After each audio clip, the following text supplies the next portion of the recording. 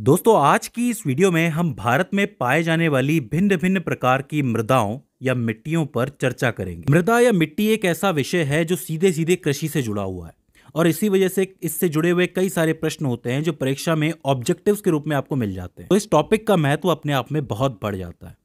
आज की इस वीडियो में हम मृदा, उसके प्रकार और विभिन्न राज्यों में कौन कौन सी मृदा पाई जाती है, ये जानेंगे। तो ज़्यादा देर न करते हुए हम शुरू करते हैं। तो देखिए, सबसे पहले तो आपके दिमाग में एक प्रश्न आना चाहिए कि मृदा या मिट्टी होती क्या है? तो देखो, मृदा जो है, वो पृथ्वी की सतह पर पाए जाने वाले मोटे, मध्यम और बारीक कार्बनिक और अकार्बनिक मिश्रित कणों की एक परत होती है। मतलब धरती के ऊपर पाए जाने वाली सबसे ऊपरी परत है, जो कि कणों से बनी हुई है। आपको पता है, बहुत सारे कण होते हैं। अब कुछ कण जो होते हैं, आपके मध्यम भी होते हैं, कुछ मोटे भी होते हैं और कुछ बारीक भी होते हैं। ये सारे कार्बनिक भी हो सकते हैं और अकार्बनिक भी हो सकते हैं। तो इनसे मिलके जो परत बनती है, उसे ही मृदा कहा जाता है। अब इस मृदा का जो निर्माण है, वो एक बहुत ही जटिल और लंबी प्रक्रिया के फलस्वरूप होता है। यानी ये कोई छोटी प्रक्रिया नहीं है, इसमें हज़ारों लाखों साल लगते हैं। कैसे? इसमें मुख्य रूप से चट्टाने टूटती हैं, पिसती हैं, घिसती हैं और फिर उनसे मृदा बनती है। और मैं यहाँ पे प्रकृति की बात कर रहा हूँ। ऐसा नहीं है कि हम क्रेन लेके चले जाएँ और वहाँ पे किसी पहाड़ को तोड़ दें, उस पहाड़ की हमने मिट्टी बना दी है। देखो, मृदा एक प्राकृतिक उत्पाद है तो प्रकृति ही उसे बनाती है, उसके अंदर जो गुण है वो डालती है, और इस सब में बहुत लंबा समय लगता है, ठीक है? अच्छा चट्टानों और पत्थरों के अलावा मृदा में और क्या चीज़ें होती हैं? वनस्पति होते हैं, जैसे कुछ एक पेड़ पौधे होते हैं जो कट जाते हैं, जड़ों से निकल जाते हैं तो वो आखिर में जाकर के मृदा ही बनते हैं। इसके अलावा कुछ जीव हैं, जो जीव मर जाते हैं, जानवर मर जाते हैं, इंसान भी मर जाता है कभी कभी तो वो भी सड़ जाते हैं। तो सड़ने पे क्या होते हैं, वो आखिर में मृदा ही बनते हैं, मिट्टी ही बनते हैं। और इस पूरी प्रक्रिया में लाखों वर्षों का समय लग जाता है। देखो, मृदा एक बहुमूल्य प्राकृतिक संसाधन है, जो कि हमसे सीधे सीधे जुड़ा हुआ है, या हमारी ज़िंदगी उससे जुड़ी हुई है। वो क्यों? वो इसलिए कि अगर इसकी प्रकृति व उर्वरता सही है तो इससे एक अच्छा कृषि उत्पादन पैदा होगा। और इंसानों के लिए ये बात बहुत ही फ़ायदेमंद है, क्योंकि हमारी कृषि अच्छी होगी तो हमारे पास खाने की चीज़ें मौजूद होंगी तो इससे हम डायरेक्टली जुड़े हुए हैं। ठीक है? अच्छा मृदा विज्ञान को अंग्रेज़ी में पेडोलॉजी के नाम से जाना जाता है। ये सवाल बनता है, पूछा जाता है कि मृदा विज्ञान को क्या कहते हैं। हिंदी में तो मृदा विज्ञान कह देंगे, लेकिन इंग्लिश में पेडोलॉजी के नाम से पूछ लेगा तो ये चीज़ आपको याद रखनी है। अब बात करते हैं मृदा के प्रकारों के बारे में। देखिए, भारतीय कृषि अनुसंधान के अनुसार, यानी कि आईसीएआर के हिसाब से, भारत में तकरीबन आठ प्रकार की मृदाएँ पाई जाती हैं। कौन से हैं वो आठ प्रकार? एक है जलोढ़ मृदा, एक काली कपास मृदा, लाल मृदा लेटेराइट मृदा, पर्वतीय या फिर वन मृदा, शुष्क या मरुस्थलीय मृदा, लवणीय या फिर क्षारीय मृदा पीटमय या दलदली मृदा। ये आठ ऐसे मिट्टी के प्रकार हैं जिनका विस्तार भारत के अंदर बहुत ज़्यादा है, जिसमें से भी सबसे ज़्यादा इंपॉर्टेंट ये ऊपर की चार मिट्टियाँ हैं जलोड काली, लाल और लेटेराइट इनके बारे में हम बहुत अच्छी तरीके से पढ़ेंगे। अच्छा मैं आपको एक रोचक बात बताता हूँ कि सबसे ज़्यादा क्षेत्रफल पर पाई जाने वाली मृदा जलोढ़ मृदा है, उसके बाद लाल मृदा है उसके बाद काली मृदा है और फिर लेटराइट मृदा है। इन मिट्टियों को समझने से पहले मैं आपको एक चीज़ बता देना चाहता हूँ कि भारत की मिट्टी में ह्यूमस की बहुत कमी होती है। अब आप पूछेंगे, ह्यूमस क्या होता है? देखिए पेड़ पौधों और जीव जंतुओं के अवशिष्ट सड़ने, गलने की वजह से जो अंश बचता है, उसे ही ह्यूमस कहा जाता है। अब हो सकता है कि आप में से कई लोगों को लगे कि ये खाद है। तो मैं आपको बता दूँ, ऐसा नहीं है। जो खाद होती है, उसमें मोटे टुकड़े भी होते हैं। और खाद को विघटित होने में कुछ साल का वक्त लग जाता है। जब खाद पूरी तरीके से विघटित हो जाती है, पूरी तरीके से, तब जाकर के वो ह्यूमस में परिवर्तित होती है। तो खाद और ह्यूमस में फ़र्क यही होता है कि खाद आखिर में जाके ह्यूमस बनती है और ह्यूमस तो ह्यूमस होता ही है। तो भारत की जो मिट्टियाँ हैं, उसके अंदर ह्यूमस की बहुत कमी होती है। ये पॉइंट आपको याद रखना है। इसके अलावा नाइट्रोजन की भी कमी होती है और फास्फोरस की भी कमी होती है। तो ये तीन तत्व हो जाते हैं, ह्यूमस, नाइट्रोजन और फास्फोरस। ठीक है? अब हम एक एक करके आठों मृदाओं को समझने की कोशिश करते हैं, उनका विस्तार देखते हैं और उनकी विशेषताएँ देखते हैं। सबसे पहले हम बात करते हैं जलोढ़ मृदा के बारे में। देखिए, जलोढ़ मृदा के नाम से पता चल रहा है कि एक ऐसी मृदा जो कि जल के माध्यम से आ रही है। जल शब्द इसमें आपको नज़र आ रहा होगा। तो ये जो मृदा होती है, जलोढ़ मृदा, ये बहते हुए पानी के द्वारा बहाकर लाई गई होती है और आसपास के एरिया में जमा कर दी जाती है। यानी कि अगर किसी पहाड़ से कोई नदी निकलती है और पहाड़ के आसपास नीचे कोई मिट्टी है तो वो नदी क्या करेगी? उस मिट्टी को बहाते हुए लेके आएगी और फिर आके मैदानी इलाकों में छोड़ देगी। तो इसका मतलब जो ज़्यादातर मिट्टी है ये वाली, जो पानी के द्वारा ही लाई जाती है। और यही कारण है कि इसका क्षेत्रफल भारत के अंदर सबसे ज़्यादा जलोढ़ मृदा को जलोढ़क, दोमट व कछारी मृदा के नाम से भी जाना जाता है। अब इस बात को समझना कि दोमट जो मिट्टी होती है और कछारी मिट्टी जो होती है, उसमें मोटाई और खनिजों का फ़र्क होता है। मतलब एक जो होती है वो मोटाई में ज़्यादा होती है और खनिजों में भी फ़र्क होता है। परंतु ये दोनों जो मिट्टियाँ होती है, दोमट और कछारी, दोनों की दोनों किसी न किसी नदी द्वारा बहाकर लाई जाती है। इसीलिए इन दोनों को जलोढ़ मृदा ही कहा जाएगा, क्योंकि इन्हें जल के द्वारा बहाकर लाया जा रहा है। अब जो जलोढ़ मृदा होती है, उसका उपजाऊपन किसी और मिट्टी से सबसे ज़्यादा होता है मतलब इसका उपजाऊपन सबसे ज़्यादा माना जाता है। यह उत्तरी मैदानों में और तटीय मैदानों में सबसे ज़्यादा पाई जाती है। अब सीधी सी बात है, जहाँ नदी जाएगी, वहीं पर मिट्टी भी जाएगी तो मैदानों में मिट्टी जाती है, तटीय इलाकों में जाती है तो वहाँ ये पाई जाएगी। इसके अलावा इस मिट्टी में चूना, पोटेशियम, कार्बनिक पदार्थ और पानी भी बहुत अच्छी मात्रा में होता है तो इससे अच्छी खासी खेती की जा सकती है।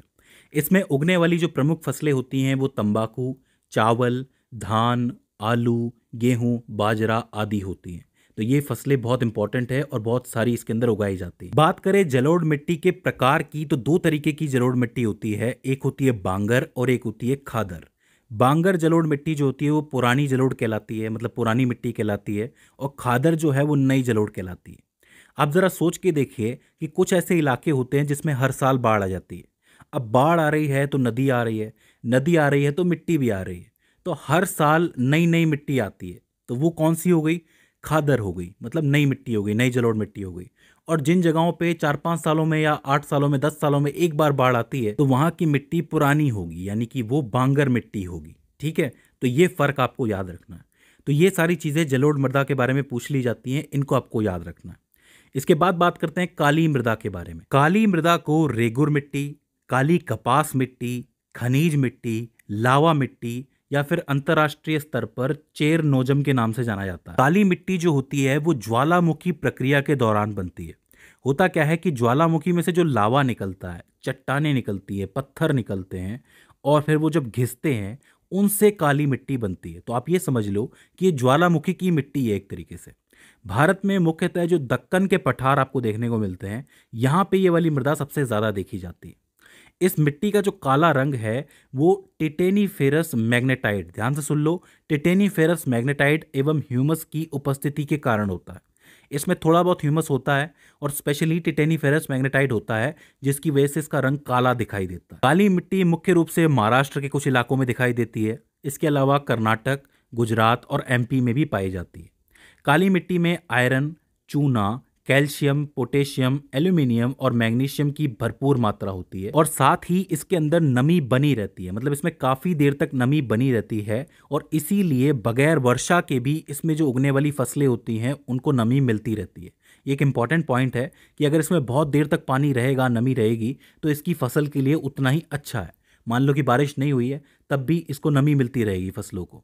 इसमें मुख्यतः कपास की खेती होती है और स्पेशली इसके अंदर दरारें देखी जाती हैं। जब ये मिट्टी सूख जाती है, इसकी नमी खत्म हो जाती है, तब इसके अंदर दरारें देखी जाती है। ठीक है? इसके बाद बात करते हैं लाल मिट्टी के बारे में। लाल मिट्टी जो होती है, उसका रंग लाल भी दिखाई देता है, पीला भी दिखाई देता है और चॉकलेटी रंग भी दिखाई देता है। जिन इलाकों का वातावरण शुष्क होता है मतलब गर्म होता है और वहाँ पे बारिश बहुत कम होती है तो ऐसी जगहों पर लाल मिट्टी का निर्माण सबसे ज़्यादा होता है और वहाँ पे सबसे ज़्यादा पाई जाती है। यह मिट्टी जैसे ही पानी के संपर्क में आती है तो ये हल्की हल्की पीली नज़र आती है। मतलब पहले तो लाल होती है, जब सूखी भी होती है। जैसे इसमें पानी डालोगे तो थोड़ी ये पीली नज़र आएगी, ठीक है? इस मिट्टी में लोहा, एल्यूमिनियम और चूना सबसे ज़्यादा होता है। और लोहे की वजह से ही इसका रंग हमें लाल नज़र आता है। देखिए, लोहे की वजह से फेरस ऑक्साइड बनता है, यानी कि जंग बनती है, और जंग का जो कलर होता है, वो लाल होता है। और इसी वजह से इस मिट्टी का कलर भी लाल नज़र आता है। भारत में ये मिट्टी उत्तर प्रदेश के बुंदेलखंड से लेकर दक्षिण के प्रायद्वीप तक जाती है। मतलब प्रायद्वीप तक इसका फैलाव देखने को मिलता है। यह मध्य प्रदेश, छत्तीसगढ़, झारखंड, पश्चिम बंगाल, मेघालय, नागालैंड, उत्तर प्रदेश, राजस्थान, तमिलनाडु तथा महाराष्ट्र में भी पाई जाती है। इस मिट्टी के अंदर बाजरे की फ़सल अच्छी पैदा होती है। किंतु जब ये गहरे लाल कलर की होती है तो इसमें कपास, गेहूँ, दाल और मोटे अनाज की फ़सल भी बहुत अच्छी होती है। तो ये एक बहुत इंपॉर्टेंट मिट्टी है, लाल मिट्टी, इसको भी आपको याद रखना है। इसके बाद हम बात करते हैं लेटेराइट मिट्टी के बारे में। देखिए, लेटेराइट मिट्टी जो होती है, ये भी बिल्कुल लाल मिट्टी की तरह ही होती है, इसका कलर भी लाल होता है, लेकिन इसका जो निर्माण है ना, वो भारी वर्षा वाले इलाकों में होता है। मतलब उन इलाकों में वर्षा भी भारी होती है और गर्मी भी बहुत ज़्यादा होती है। लाल मिट्टी में क्या होता है कि वर्षा भी कम होगी और गर्मी भी ज़्यादा होगी। यहाँ पे भारी वर्षा होती है। ठीक है? तकरीबन 200 सेंटीमीटर तक। तो इस चीज़ को आपको याद रखना ये फ़र्क है दोनों के अंदर। इसके अलावा इस मिट्टी में लिंचिंग प्रोसेस देखने को मिलती है। वो क्या होती है? देखिए, यहाँ पे वर्षा बहुत ज़्यादा होती है और वर्षा होने की वजह से कुछ एक पदार्थ होते हैं, जो खनिज होते हैं, वो घुल जाते हैं, घुलनशील होते हैं तो वो घुल के नीचे वाली परत में चले जाते हैं मतलब अंदर ही अंदर चले जाते हैं और इसकी वजह से ये जो मिट्टी है ना, वो थोड़ी सी कम उपजाऊ रह जाती है मतलब उसका उपजाऊपन थोड़ा कम हो जाता है। इस मिट्टी को मखरीली मिट्टी के नाम से भी जाना जाता है। जो गहरी लेटेराइट मिट्टी होती है, उसमें लोहा ऑक्साइड और पोटाश की मात्रा बहुत ज़्यादा होती है। इसमें लोहा, एल्यूमिनियम और चूने की मात्रा भी बहुत ज़्यादा होती है। इस मिट्टी में मेनली चाय और कहवा, ये दो चीज़ें हैं, चाय और कहवा जैसी फ़सलें बहुत अच्छी होती हैं तो इसके लिए बहुत उपयोगी मिट्टी कहलाती है। पूरे विश्व में लेटेराइट मिट्टी जो है, वो कर्क और मकर रेखा के बीच के हिस्सों में कुछ एक क्षेत्रों में देखी जाती है। अगर हम भारत की बात करें तो भारत में कुछ एक जगह हैं। ध्यान से लिखना इनको। तमिलनाडु के पहाड़ी भागों के निचले क्षेत्रों में, कर्नाटक के कुर्ग ज़िले में, केरल राज्य के चौड़े समुद्री तट पर, महाराष्ट्र के रत्नागिरी ज़िले में, पश्चिम बंगाल के वेसाइट और ग्रेनाइट पहाड़ियों के बीच में, उड़ीसा के पठार के ऊपरी भागों में और असम के कुछ एक भागों में ये मिट्टी पाई जाती है। याद रखना, बहुत इंपॉर्टेंट मिट्टी है। कई सारी जगहों पे पाई जाती है। क्षेत्र आपको याद रखना है। ठीक है? इस मिट्टी की एक खास बात यह है कि इससे ईट बनाई जाती है। पूछ लिया जाता है कि कौन सी मृदा या मिट्टी से ईट बनती है तो ये एक इंपॉर्टेंट मिट्टी है, इसका नाम आपको याद रखना है। तो ये चार इंपॉर्टेंट मिट्टियाँ हो जाती हैं। इसके बाद और चार की बात कर लेते हैं। सबसे पहले बात करते हैं लवणीय मिट्टी की। लवणीय मिट्टी जो होती है, इसमें मृदा लवणता बहुत ज़्यादा होती है मतलब लवण की मात्रा बहुत ज़्यादा होती है। ये लवणता जो है खनिजों की वजह से हो सकती है, समुद्र के पानी की वजह से हो सकती है। और इस वजह से ये जो मिट्टी होती है, ये अन उत्पादक मिट्टी होती है। मतलब इसकी उत्पादक क्षमता बहुत कम होती है, ठीक है? इसे रेह, उसर या फिर कल्लर के नाम से भी जाना जाता है। ध्यान से सुनना, रेह, उसर या फिर कल्लर, तीन और नाम है इसके। ये मिट्टियाँ अपने अंदर मैग्नीशियम, सोडियम और कैल्शियम लवण समाहित करती हैं। इसी की वजह से लवणता बहुत ज़्यादा होती है। यह उत्तर प्रदेश, पंजाब, गुजरात के कच्छ, बिहार, हरियाणा महाराष्ट्र व राजस्थान के कुछ एक हिस्सों में पाई जाती है। तो एक बहुत ज़रूरी मिट्टी हो जाती है, लवणीय मिट्टी। इसको आपको याद रखना है। इसके बाद आती है आपकी पर्वतीय मिट्टी, जो कि बहुत आसान है याद करने में। वो मिट्टी जो पहाड़ों में पाई जाती है, उसे पर्वतीय मिट्टी कहते हैं। सिंपल सी बात है। इसका विस्तार आपको मुख्यतः उत्तर व उत्तर पूर्वी पहाड़ों में देखने को मिल जाएगा। जो उत्तर भारत है हमारा, उसके जैसे कि लद्दाख के पहाड़ हो गए, हिमाचल प्रदेश के पहाड़ हो गए, जम्मू कश्मीर के पहाड़ हो गए, सिक्किम, उत्तराखंड, अरुणाचल प्रदेश इन सब के पहाड़ों में पर्वतीय मिट्टी सबसे ज़्यादा पाई जाती है। अच्छा इन इलाकों में सेब की खेती सबसे प्रमुख होती है। जैसे कि जम्मू कश्मीर का सेब बहुत मशहूर है, क्योंकि वहाँ का टेम्परेचर भी कम है तो वहाँ पे सेब की खेती बहुत अच्छी होती है इन्हीं मिट्टी के अंदर। तो ये चीज़ भी आपको याद रखनी है। इसके बाद बात करते हैं मरुस्थलीय मिट्टी के बारे में। मरुस्थलीय मिट्टी यानी कि रेगिस्तानी मिट्टी, इसके अंदर नमी बहुत कम होती है तो इसे कम नमी वाली मिट्टी भी कहते हैं। ये पाई कहाँ जाती है? राजस्थान में पाई जाती है। सीधी सी बात है, पहले आपके दिमाग में आ जाना चाहिए। गुजरात में पाई जाती है, पंजाब और हरियाणा के भी कुछ एक इलाकों में पाई जाती है। इसमें जो मेन खेती होती है, वो किस चीज़ की होती है? बाजरे की, ज्वार की व सरसों की। ये तीन इंपॉर्टेंट खेतियाँ हैं, इसको आपको याद रखना है। इसके बाद आपकी पीट में या फिर दलदली मिट्टी आती है। अब इसको तो आप यूँ ही पहचान सकते हो कि ऐसी मिट्टी जो कि बहुत ज़्यादा वर्षा होने की वजह से बनती है। जैसे कि बहुत ज़्यादा वर्षा हो जाती है, कुछ एक जंगल होते हैं, वर्षा वन जिसको आप कहते हो, वहाँ पे बहुत वर्षा होती है। उसकी वजह से ये मिट्टी ढीली पड़ जाती है, कीचड़ बन जाता है तो यही मिट्टी जो है आपकी दलदली मिट्टी कहलाती है। इसकी खास बात ये होती है कि इसके अंदर ह्यूमस की मात्रा बहुत ज़्यादा होती है। वो क्यों? क्योंकि चूँकि अगर ये वन में हैं तो जीव भी पाए जाएँगे, जीव मरेंगे तो इसी में आकर के मरेंगे।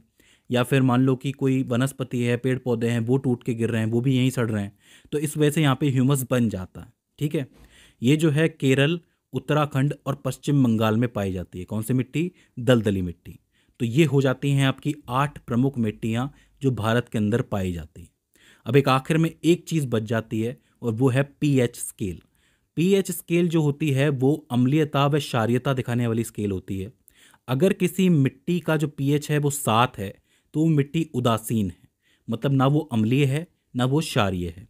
अगर किसी मिट्टी का पीएच सात से ज़्यादा है तो वो क्षारीय मृदा कहलाएगी और अगर सात से कम है तो वो अम्लीय मृदा कहलाएगी। इस चीज़ को आपको याद रखना है, सात उदासीन होती है, सात से ज़्यादा क्षारीय और सात से कम अम्लीय। किसी भी फ़सल को करने के लिए बेस्ट पीएच क्या हो सकता है? छः से सात के बीच में हो सकता है। पूछ लिया जाता है, ये ज़रूरी है कि फ़सल करने के लिए उत्तम पीएच कौन सा है? छः से सात का है, ठीक है? अगर मान लो कि मृदा बहुत ज़्यादा अम्लीय हो जाए तो उसकी अम्लीयता को कम करने के लिए क्या किया जाता है? उस मृदा के अंदर चूना मिलाया जाता है। ज़रूरी पॉइंट है, पूछा जाता है कि अम्लता कम करने के लिए चूना मिलाया जाता है। वहीं क्षारियता को कम करने के लिए क्या मिलाया जाता है? जिप्सम नाम का एक पदार्थ मिलाया जाता है। जैसे चूना होता है, वैसे जिप्सम भी होता है। उससे